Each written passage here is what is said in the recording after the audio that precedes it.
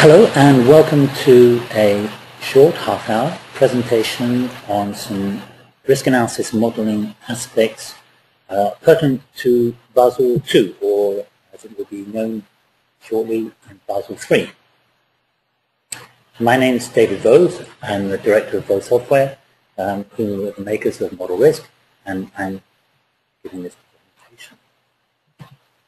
so what was Basel II? Um, well, the purpose of Basel II, uh, published in 2004, was to set uh, rules that would ensure that banks have sufficient capital to cover their risks. Um, recent years, we've obviously figured out that um, that didn't work. But uh, the idea was that the same rule would essentially apply for all banks internationally if it was uh, globally adopted. So that you wouldn't have uh, some competitive advantage by a bank that, um, that held in reserve insufficient, capital to cover its risks. It wasn't widely implemented until the banking crisis, uh, but now countries use it a lot more, or they apply individually more stringent rules the United States, for example. It's, uh, Basel II is now effectively superseded by Basel III, but the modeling that I'm going to be talking about still applies. So it's the idea is to uh, try and ensure that banks have sufficient capital. So what does that mean? A bank cannot hold sufficient reserves to cover all 100% of its risk. That's an impractical uh, solution. So therefore we need to have a level of confidence or probability that they do have sufficient uh, capital in reserve and when we talk about probability, we have to start talking about quantifying and trying to figure out the probability that they will have enough money in the bank. And this is, of course, where risk modeling comes in. There are three pillars uh, to Basel II. One is the calculation of the capital that would be required. Uh, the second pillar is the regulatory response, um, which is the supervision to pillar one, um, that includes uh, evaluating the models that a bank will produce in order to uh, estimate its capital reserve requirement, um, plus evaluation of other non-quantified risks, um, which are called residual risks, things like market risk and uh, pension risk, etc. Uh, and then the third, clap, uh, third pillar is the disclosure requirements uh, in, to make sure that a bank is uh, being open and honest about the risks that it takes and everybody gets to know that. There are three areas of risk in Pillar 1 uh, that are used, that are evaluated. And these are credit risk and uh, operational risk and market risk. In credit risk, uh, there are different options that one may choose in Pillar 1 a standardized version, foundation, and the advanced interest rate-based uh, method. And we're going to be look at the advanced interest rate-based method a little. Operational risk. Um, operational is the, again, three different methods. A basic indicator idea. There's a uh, uh, standardized method and an advanced measurement. And we're going to be looking at advanced measurement. And then there's market risk, which is used as a value at risk approach.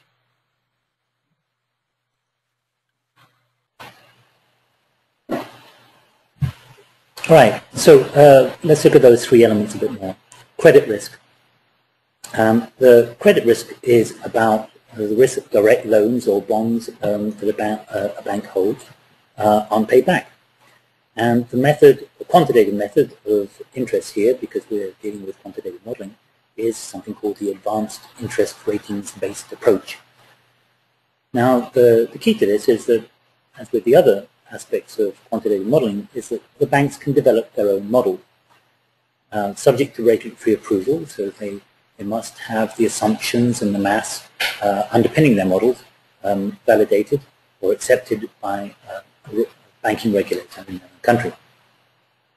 And the basic principle is that they calculate uh, risk-weighted asset, which is a function of the probability default, the exposure given default, and the loss given default. And then uh, from a certain calculation, there is a fixed percentage of the uh, risk-weighted asset which is set as the required capital. Um, there are lots of models that we could look at, um, and I'm just going to give two very simple models. Simple because I'm more interested in stimulating you into thinking about the ideas that you can use ModelRisk for uh, and, and risk modeling, um, and not get too involved in the, the details of the model. So the first model I want to look at is a Markov chain example for the number of losses. Now, I appreciate that's only a component of the, the whole calculation, essentially the probability of default component. But let's look at that very quickly. So here's a very simple model. Uh, it's got a matrix here, which is called a transition matrix in a Markov chain process. So the, the way you read this is here we've got three different uh, credit rating categories. I appreciate there are many more, but um, we don't really need to look at them from the point of view of, uh, of defaults, defaults being when the loan doesn't get paid back. You've got credit rating A and B, and then the default. And you read this as the probability of going from, say, A to each one of these different states. So you'll see that this is this contains all possible states, it's either A or B or default. And you'll see that these probabilities therefore add up to 100%. You can see that in the bottom of my screen here. So if a, uh, let's say, uh, a company in which you um, have lent some money, if uh, it is in currently uh, a credit rating A, what is the probability that it will default within a certain time period? And in this case, we can see the probability is 1%. If there be, the probability is 6%, and of course there's default, then well, we can argue about whether they come in and out of uh, protected receivership. Um, but essentially, for this modeling purposes, we've left it at 100%. This is called an absorption state. An absorption state means that once uh, uh, an entity entering this process, it ends up in default, it never leaves it. It. There is no probability of it going from default to any of the other states. Now, this is a credit rating uh, transition matrix for one year, and you'll find that uh, company credit rating agencies like Standards & Poor's and Moody's and Fitch, they, uh, Fitch, they um, produce these uh, matrices. And they do it by looking at companies that have these different uh, credit ratings um, based on a set of rules, and then the fraction of those companies with that particular credit rating, like AA1, the fraction that then move into each of the uh, higher and lower um, credit ratings. So this is a matrix for one year. Now, if I was to say uh, I've actually got a number of different uh, loans out, 120 loans, to a uh, companies with a, an A rating. I got 77 loans to companies with a B rating, and we're going to ignore any companies I might have loans to defaulting companies. They're already lost. And what I'd like to know is, if we move forward a certain amount of time, how much, how many will I have in each of these different states? Actually, what I'd really like to know is how many of them are going to be defaulting. So, uh, if this was a year, you can see what's happening here. Hitting the F9 key.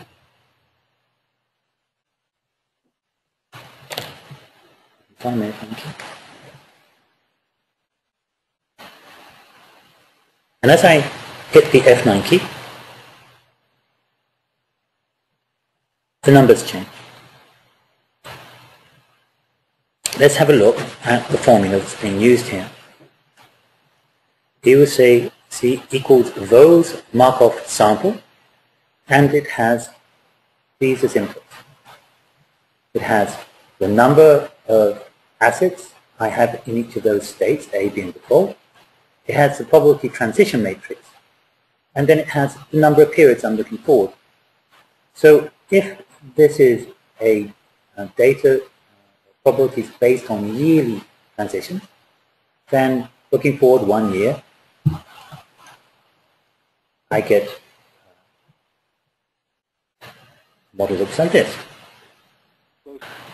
Now, if uh, we look at two periods into the future, this is a matrix applied to one period. If we look at two periods, then essentially this is a repetition of the same process two times.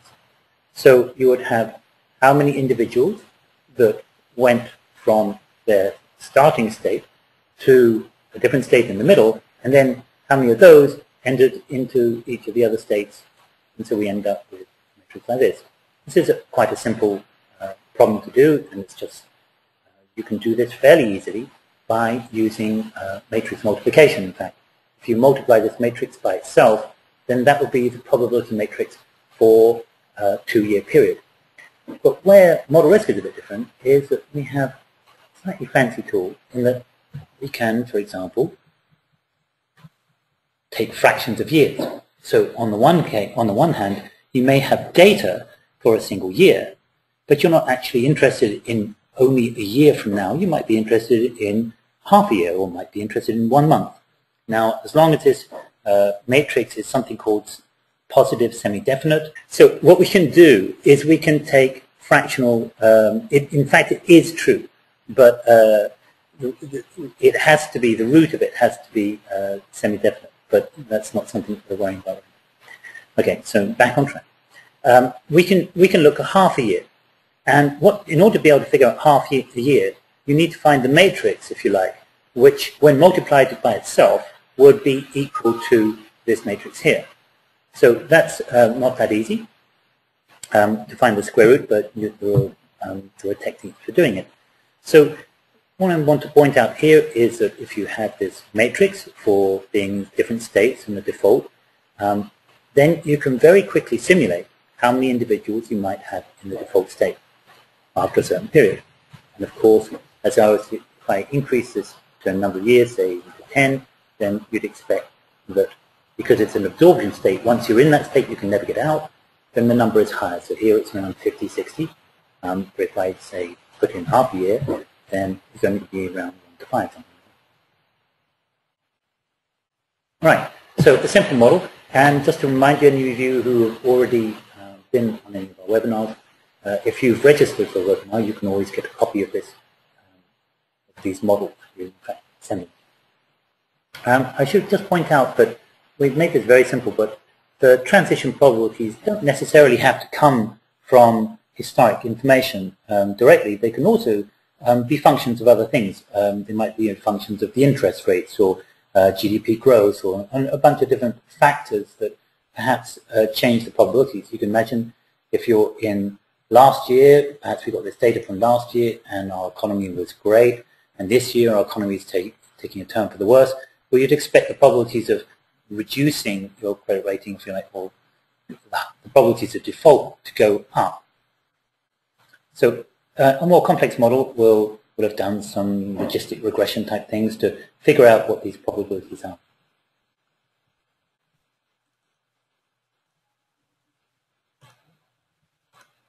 Okay, a second model I want to show you is imagine you have a large number of small loans.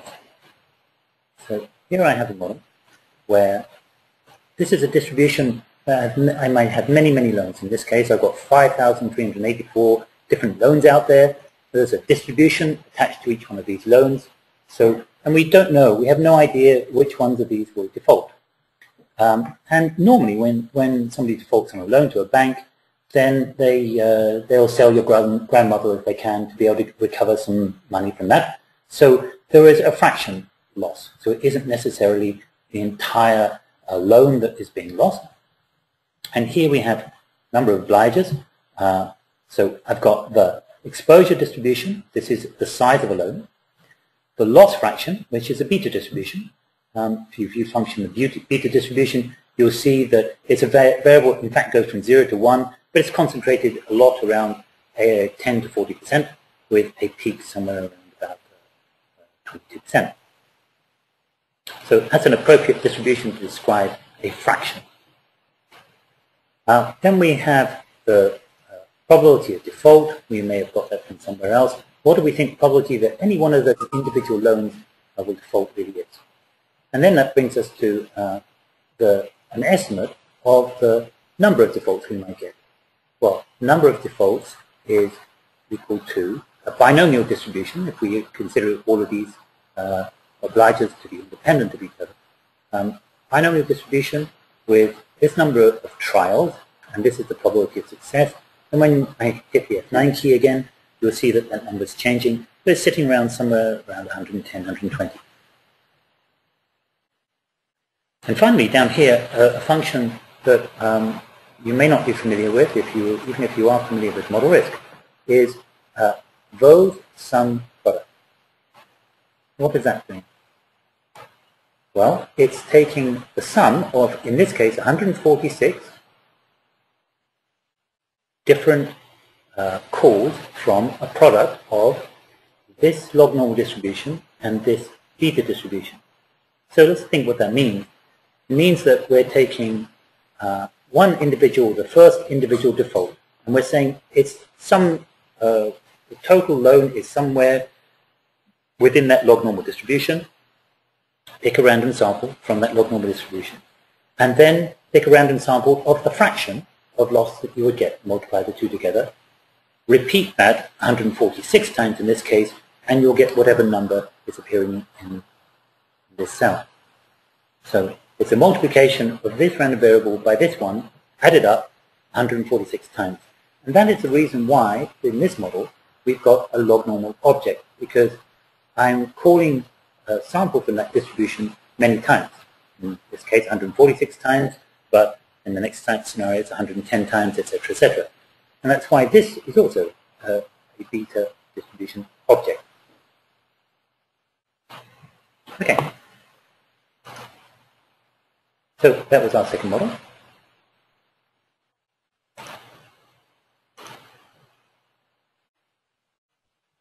The second uh, type of risk that uh, the Pillar 1 uh, models is called operational risk.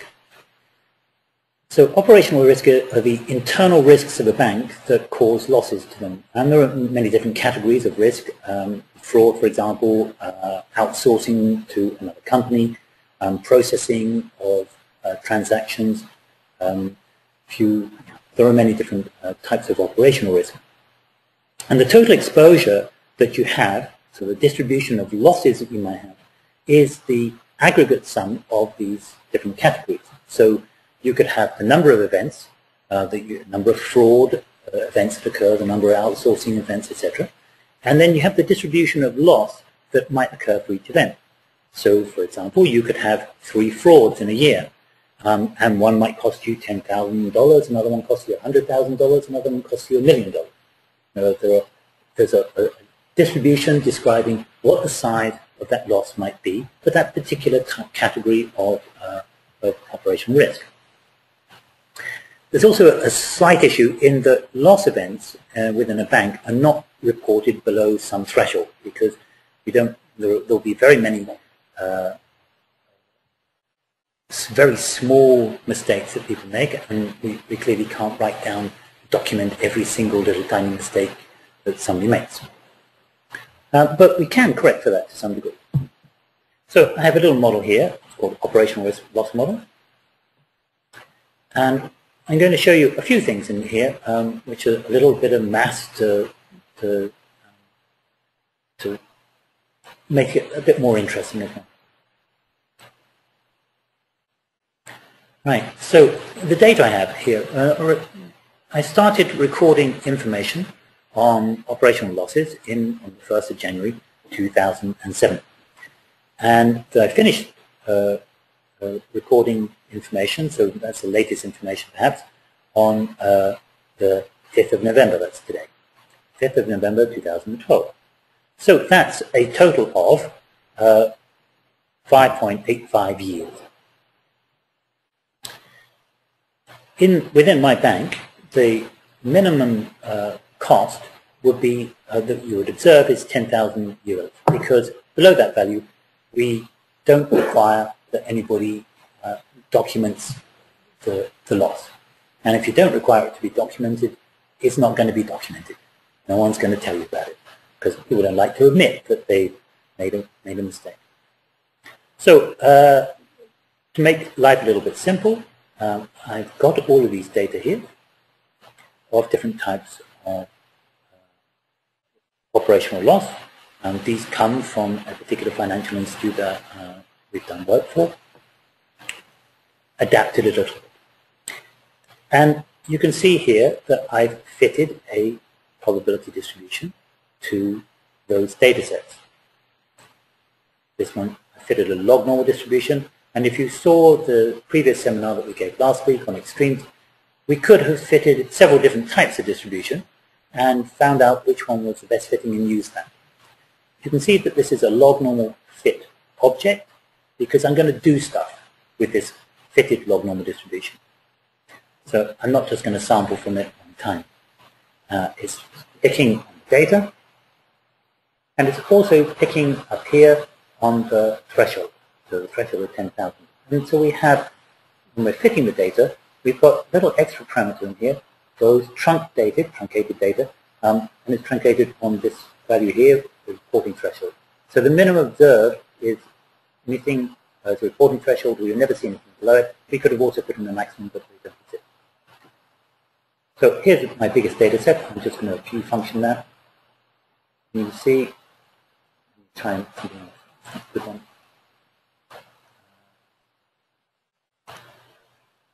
Okay, you can see this one there. So here's the fitted distribution, um, and there's some stuff missing because I don't have the absolute minimum value.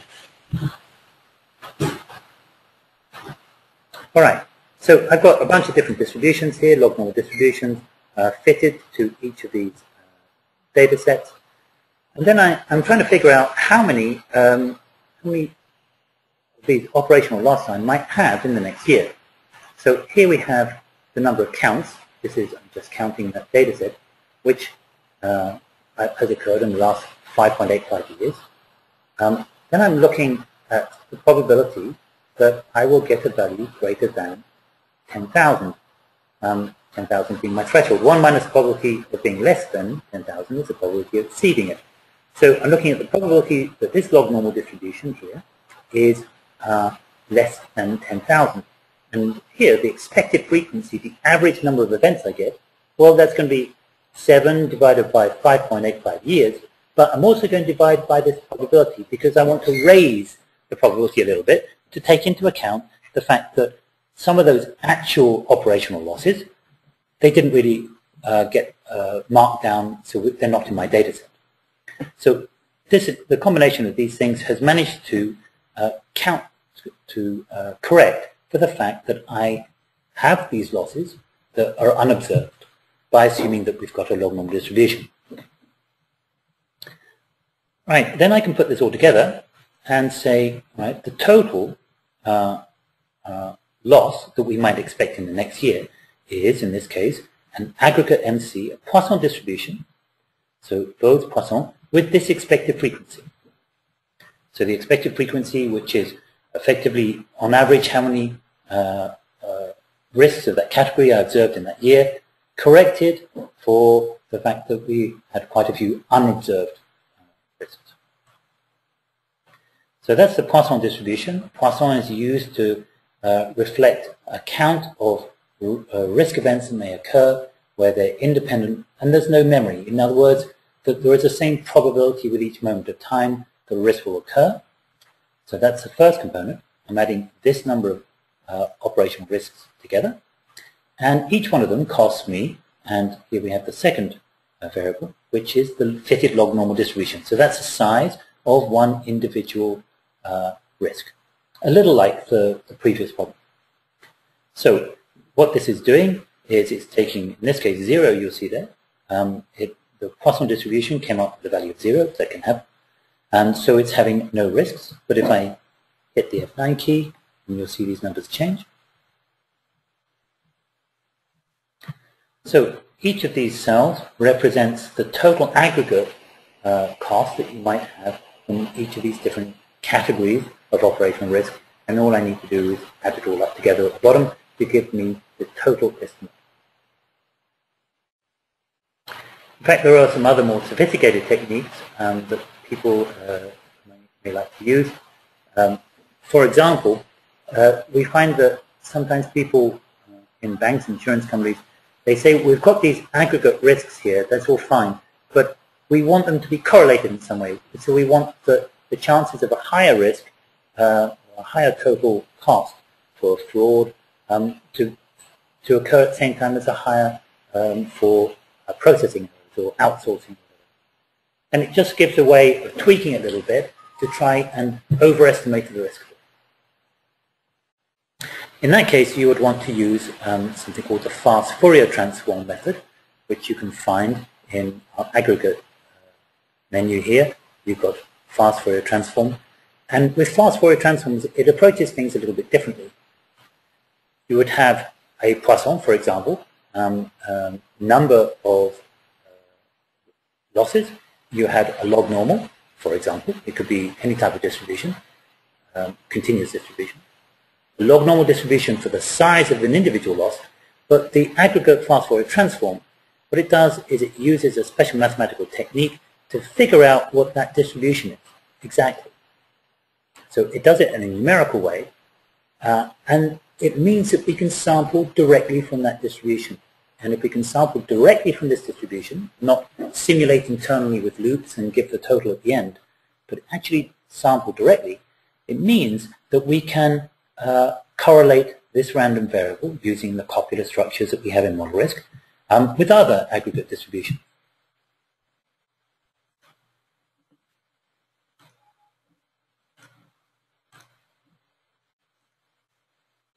The third type of uh, model, um, uh, or third type of risk that is modeled within the Basel II framework is called market risk. This is the risk of losses that a bank may take in positions that it takes in the market. For example, um, positions it might have in equity or interest rates, um, all the different hedging, etc., currency, commodities. Uh, usually, well, uh, people use something called value at risk, VAR. The value at risk is the loss below some probability threshold. So if you would say, um, what is the expected loss um, in the bottom 10 percentile of my loss distribution?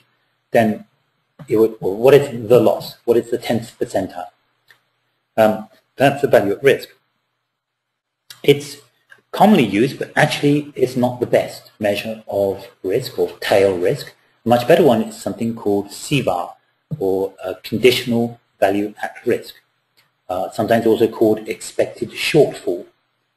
Uh, this is also available in ModelRisk. You can, it requires you to produce a simulation and what this essentially does is it looks, instead of um, the 10th percentile, for example, it will look at the mean of that tail from the 0th to the 10th percentile in terms of revenue. So the loss tail.